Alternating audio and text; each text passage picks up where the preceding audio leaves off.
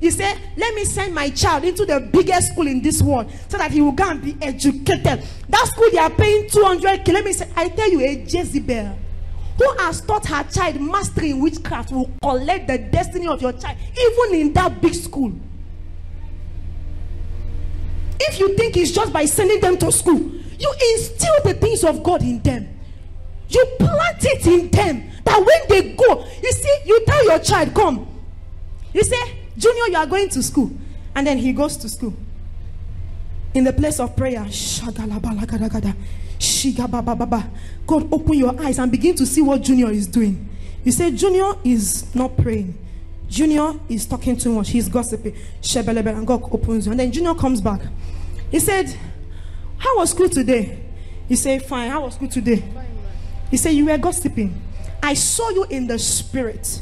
You spoke to this girl, you lied, you did. He said, he said, Mommy, no. I said, she now gives you the exact thing you did. You say, Hey, mommy, you they see? When that child goes to school, they say, Come and smoke alcohol. No, my mama, they watch me for spirits.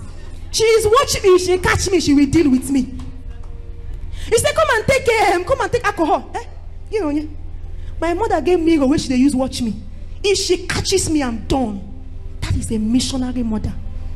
These are the mothers that God is raising. And put in the hands of Delilah. He said, Oh God, oh God, oh God. He will not carry his precious seed and put in your hands.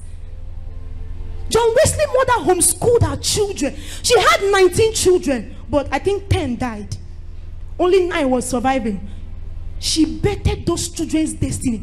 When that woman gets to heaven, she's among the people that bettered Methodist Church because she prayed it forth.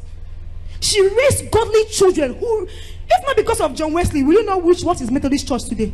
They were the founder of Methodist Church. Because she bettered children that bettered that church. So in heaven, she has her own reward.